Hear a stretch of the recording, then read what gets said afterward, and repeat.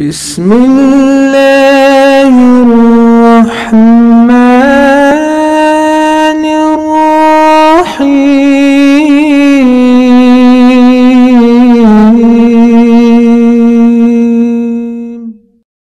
السلام عليكم ورحمة الله وبركاته. الحمد لله رب العالمين والعاقبة للمتقين والصلاة والسلام على أشرف الأنبياء والمرسلين وعلى آله وأصحابه أجمعين ومن تبعهم بإحسان إلى يوم الدين أما بعد. فأعوذ بالله السميع العليم من الشيطان الرجيم من همزه ونفخه ونفثه. تلك من أنباء الغيب نوحيها إليك. ما كنت تعلمها أنت ولا قومك من قبل هذا فاصبر إن العاقبة للمتقين. معزز حاضرین، اللہ کے فضل کے بعد یہ ہمارا بیٹھنا اور خاص طور سے اس علم کے حصول کی خاطر یہ ہمارے تمنائیں اللہ تعالیٰ اس کو قبول فرمائیں حاضرین، ہم اور آپ جانتے ہیں ہمارا سلسلہ آداب طالب علم یا آداب تعلیم کے سلسلے میں چلا آ رہا ہے۔ اور آج ہوگا انشاءاللہ آخری کڑی اس سلسلے میں۔ قبل اس کے کہ آج نئی بات شروع کریں، ہم تھوڑا دہرا لیں گے پچھلی بات کو۔ اس کے بعد پھر انشاءاللہ آگے بڑھیں گے۔ آپ میں سے کوئی ہے دہرانے کے لیے انشاءاللہ؟ آج موقع دے دیں گے، انشاءاللہ۔ جی۔ جی۔ جی۔ بالکل۔ جی۔ جی۔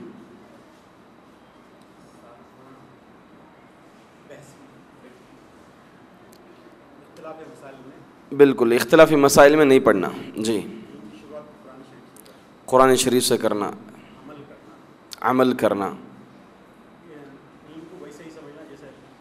صحابہ اکرام صلف صالحین نے سمجھا ہے۔ اللہ آپ کو جزائے خیر دے۔ بارک اللہ فیکم۔ ویاکم ویاکم کافی پچھلے پچھلے ہفتے بھی آپ نے تیار تھے جواب دینے کے لیے۔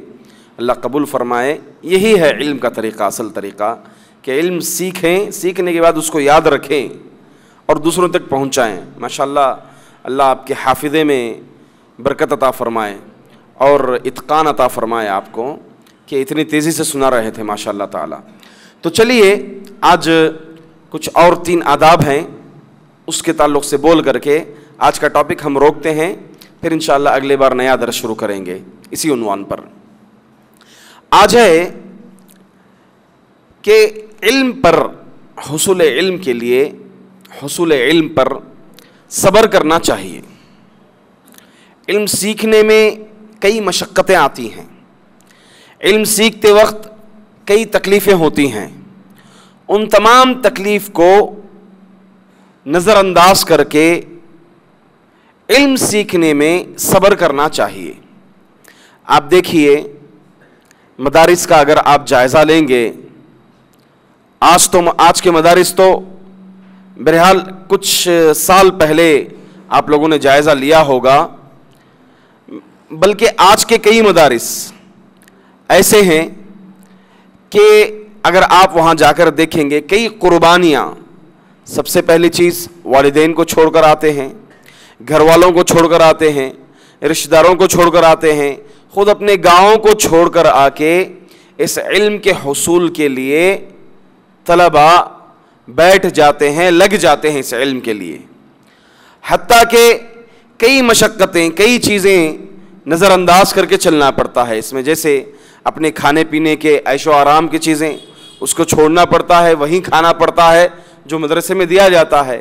اسی طریقے سے چین و سکون، آرام کے لیے وہی آرام ہوتا ہے جو مدرسے میں جو ٹائم مقرر ہوتا ہے، وہی بستر ہوتا ہے جو مدرسے میں طے ہوتا ہے۔ تو لہٰذا علم کے لیے صبر و تحمل سے کام لینا چاہیے۔ آپ دیکھیں گے، علماء کا اگر جائزہ لے کتاب ہے حلیت طالب العلم کے اب اس کتاب میں کافی مفصل بحث کی گئی ہے۔ تقریباً علماء کا ذکر کیا گیا ہے، جو تین سو صدی ہجری کے تھے، چار سو صدی ہجری کے، پانچ سو صدی ہجری کے۔ بہرحال بہت طویل کتاب ہے۔ اس سے ہٹ کر کے کچھ دو مثالیں انشاءاللہ آپ کے سامنے پیش کر کے میں بات کو آگے بڑھاؤں گا۔ پہلی چیز، عالم دین تھے ایک، محمد اسحاق الاسبہانی تقریباً ان کی وفات تین سو پچانوے ہجری ہے تھری نائنٹی فائیو ہجری ان کی تاریخ وفات ہے۔ ان کے تعلق سے آتا ہے کہ جب یہ علم حاصل کرنے کے لیے سفر پہ نکلے تو بیس سال کی عمر تھی۔ بیس سال کی عمر ان کی تھی کب؟ جب علم حاصل کرنے کے لیے نکلے۔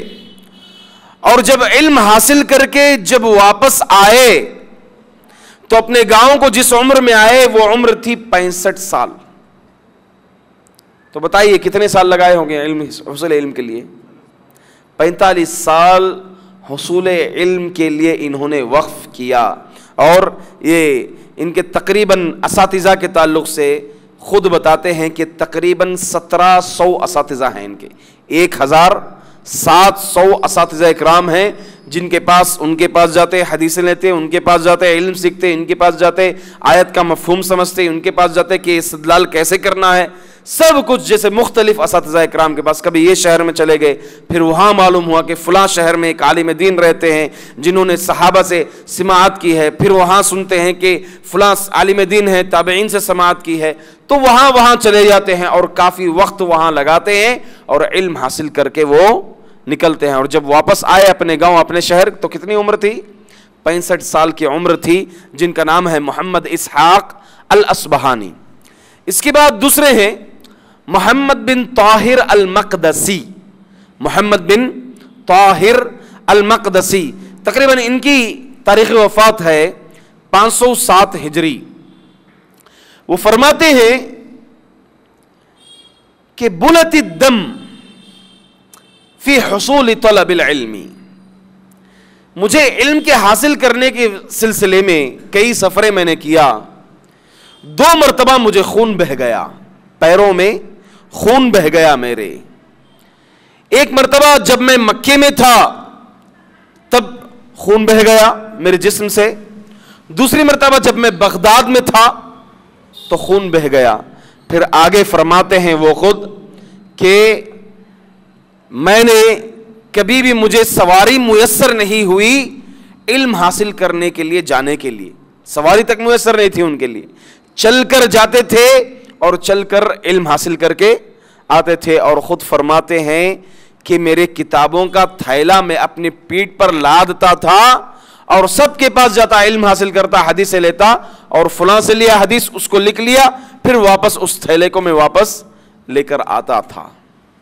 تو یہ علم حاصل کرنے کے سلسلے میں صبر، اس میں مشقتیں آتی ہیں، تکلیفیں آتی ہیں، اس کو برداشت کرنا چاہیے۔ ایک طالب علم تبھی کہا جاتا ہے لا يستطاع العلم بغیر جہد.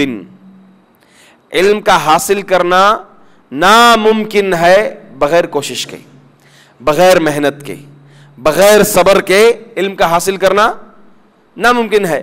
پھر یہ بھی کہا جاتا لا يستطاع براحت الجسم، جسم کے سکون و راحت کے ساتھ، اطمینان کے ساتھ علم کا حاصل کرنا یہ بھی ممکن نہیں ہے۔ علم کا حاصل کرنا یہ بھی ممکن نہیں ہے، تو لہٰذا علم حاصل کرنے کے لیے تکلیفیں اٹھانی پڑتی ہیں۔ جی یہی ہے، شعر میں ہے کہ علم اس شخص کو ملتا ہے، من سحر اللیالی۔ من سحر اللیالی، جو راتوں کو جاگتا ہے، اس کو علم ملتا ہے۔ راتوں کو جاگ سے جاگنے سے ملا تو سحری کا وقت کون سا ہوتا ہے؟ سحر کا وقت۔ رات کا آخری پہر۔ تو جو رات کے آخری پہر میں اٹھتا ہے، علم حاصل کرنے کے لیے، اور راتیں جاگتا ہے، وہ رات رات کا آخری پہر جو جاگتا ہے، وہ شخص علم واقعی معنی میں حاصل کرتا ہے۔ ایک اور ہے آخری ہمارے ابو حاتم الرازی رحمہ اللہ علیہ، جنہوں نے ایک کتاب لکھی، الجرح والتعدیل۔ ان کی کتاب ہے۔ یہ کتاب کس سلسلے میں ہے؟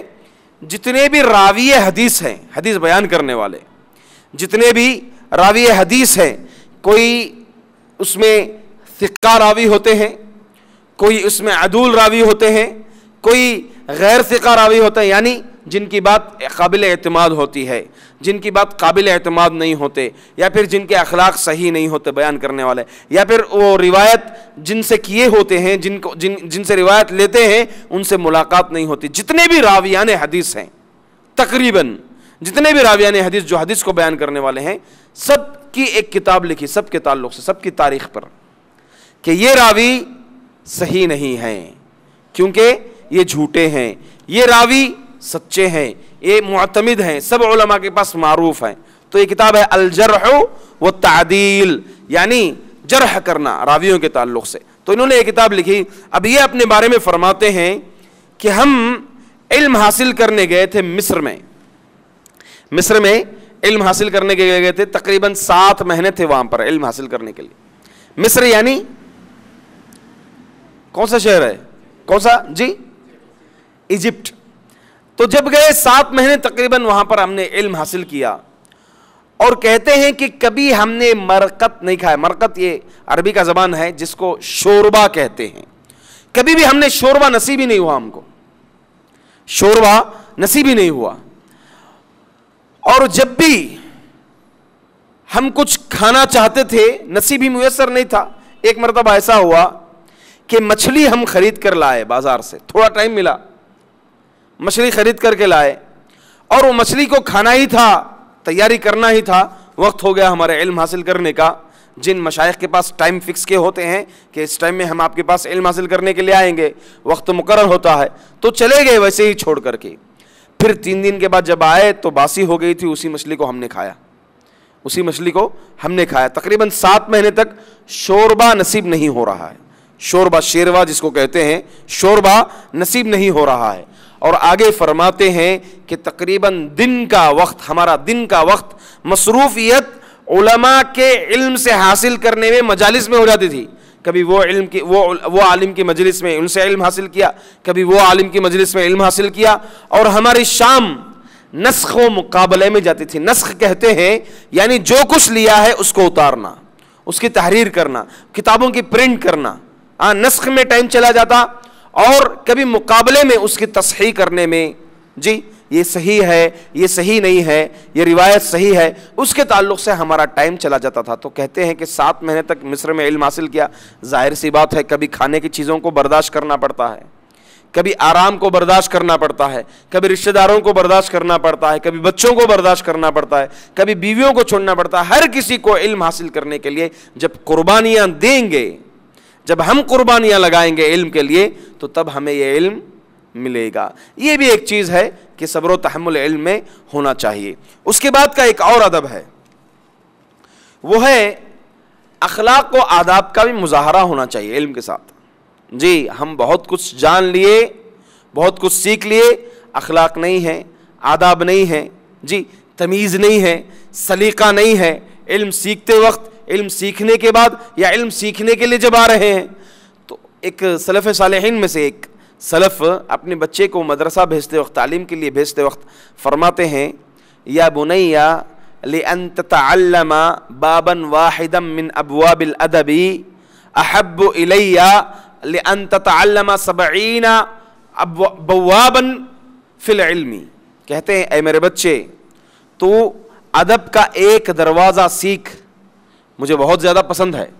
بنسبت اس کے کہ تو علم کے ستر دروازے سیکھے اور ادب ہی نہ ہو تیرے پاس۔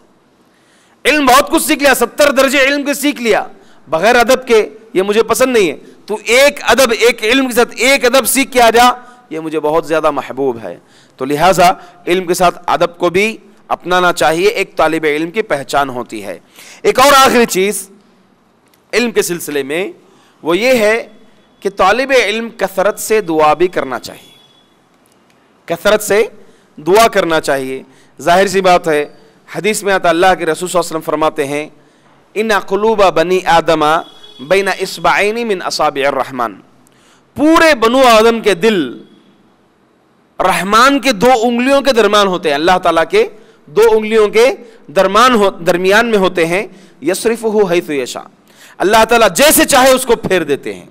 اسی لیے یہ دعا پڑھتے ہیں نا، یا مقلب یا مقلب القلوب ثبت قلبی علی دینک، علی رضاک، اے دلوں کو پھیرنے والے، ہمارے دل کو تیرے دین کے لیے، تیری رضامندی کے لیے پھیر دے۔ اور علم کے لیے بہترین دعا کون سی ہے؟ رب شرح لی صدری ویسر لی امری وحلل عقدۃ من لسانی یفقہ قولی۔ ربی زدنی علما، ربی زدنی علما ہے۔ پھر اسی طریقے سے اللہم انی اسألوکا علما نافعا۔ نفع والا علم۔ نفع والا علم علم نافع اللہ تعالیٰ سے طلب کرنا چاہیے۔ علم سے مراد علم نافع ایسا نفع والا علم جو ہماری وفات کے بعد، ہمارے مرنے کے بعد بھی ہمارے لیے صدقے جاریہ بن جائے۔